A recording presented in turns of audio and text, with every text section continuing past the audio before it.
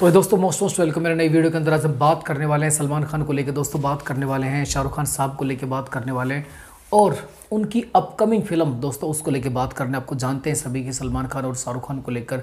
एक बहुत बड़ी बॉलीवुड के अंदर फ़िल्म बनाई जा रही है, टाइगर वर्सेस पठान। जी हाँ दोस्तों, इस फ़िल्म की डिमांड कैसे उठी? आपको पता होगा, पिछली कुछ समय पहले शाहरुख खान की सबसे बड़ी फ़िल्म, सबसे ही सुपरहिट फ़िल्म आई थी दोस्तों अगर हम कलेक्शन की दृष्टि से देखें पठान, उसके अंदर सलमान खान ने दोस्तों एक कैम्यू किया था और वो कैम्यू इतना ज़बरदस्त रहा कि उसके बाद लोगों ने मांग करनी शुरू कर दी मूवी लवर ने मांग करनी शुरू कर दी कि हमें देखना है तो सलमान खान और शाहरुख खान को एक साथ देखना है। इतनी उस भावनाओं को समझते हुए आदित्य चोपड़ा ने दोस्तों उस प्रोजेक्ट पे काम करना शुरू किया और उसके ऊपर स्टोरी राइटिंग का सारा काम जो है वो रेडी हो चुका है। और पानी की तरह दोस्तों पैसा बहा जाए, बहाया जाएगा इस प्रोजेक्ट के ऊपर, क्योंकि ये जो प्रोजेक्ट है, ये चार हज़ार करोड़ को भी कमा सकता है, पाँच हज़ार करोड़ भी का दोस्तों कमा सकता है, इतनी बड़ी भव्य फ़िल्म बनाई जा रही है। आपको पता होगा सिद्धार्थ आनंद सिद्धार्थ आनंद ने दोस्तों पठान को एक प्रकार से डायरेक्ट किया था और सुपर डुपर बनाई थी। सिद्धार्थ आनंद की बात करें ट्रैक रिकॉर्ड को देखें तो जो भी फ़िल्म उन्होंने दोस्तों बनाई है, वो सारी फ़िल्में सुपर डुपर दी हैं। उनका सक्सेस रिश्तो ज़बरदस्त रहा है।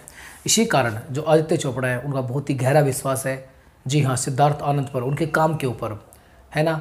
उनकी, उनके वर्किंग स्टाइल के ऊपर, इसी कारण आपको पठान वर्सेस टाइगर इस प्रोजेक्ट के ऊपर जो काम सौंपा गया है, वो स्पेशल रूप से काम सौंपा गया है सिद्धार्थ आनंद को। लेकिन आपको सरप्राइज़ होगा जानकर कि सिद्धार्थ आनंद को, इस प्रोजेक्ट को, इस फ़िल्म को दोस्तों डायरेक्ट करने के लिए कितने पैसे मिले आप कल्पना भी नहीं कर सकते। जी हाँ चालीस करोड़ रुपए। इतने करोड़ रुपए दोस्तों, आज तक फ़िल्म इंडस्ट्री के अंदर किसी भी डायरेक्ट को नहीं मिले डायरेक्टर को नहीं मिले, या कि हम ये कहें कि सबसे बड़ा अचीवमेंट है सिद्धार्थ आनंद के पास, जो उन्होंने एक मूवी को डायरेक्ट करने के लिए चालीस करोड़ रुपए लिए हैं दोस्तों। कहीं ना कहीं ये उनका काम है, उनका टैलेंट है कि उनको इतने सारे रुपए देने पड़ रहे हैं। अब ये उनके कंधों पे ज़िम्मेदारी आ चुकी है कि वो इस पठान वर्सेस टाइगर मूवी को किस प्रकार डायरेक्ट करते हैं, किस तरह उसको बनाते हैं कि ये फ़िल्म दोस्तों कमाई के सारे रिकॉर्ड तोड़ के रखते हैं बाकी इस फ़िल्म की शूटिंग की बात करें तो जनवरी दो हज़ार के अंदर इस फ़िल्म की जो है शूटिंग का काम दोस्तों स्टार्ट हो जाएगा और उसके बाद देखते हैं 2025 में शायद ये मूवी हमें दोस्तों आती हुई दिखाई देगी। बाकी इस इस मूवी का दोस्तों अभी जबकि आप देख सकते हैं कि प्रोडक्शन यानी काम शुरू भी नहीं हुआ है, लेकिन फिर भी उससे पहले ही दोस्तों, आपको पता है इस फ़िल्म का कितना सारा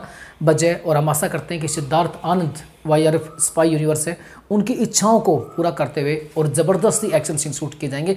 ऐसे भयंकर दोस्तों एक्शन सीट सुन होंगे जो आपने कभी हॉलीवुड मूवी के अंदर भी नहीं देखा। इसी कारण सिद्धार्थ आनंद को इतने सारे पैसे दिए गए और इतनी बड़ी दोस्तों रिस्पॉन्सिबिलिटी भी दी गई सिद्धार्थ आनंद को मैं जिस प्रकार साउथ में आर एस राजमौली के बराबर डायरेक्टर में मानता हूँ, बल्कि आर एस राजमौली को भी इन्होंने पैसे के मामले के अंदर दोस्तों पछाड़ के रख दिया। बाकी आप क्या सोचते हैं इस मूवी के बारे में और सिद्धार्थ आनंद के काम के बारे में आपका क्या विचार है? जल्दी बताइए कमेंट बॉक्स में इंतज़ार करूँ आपकी रिप्लाई का।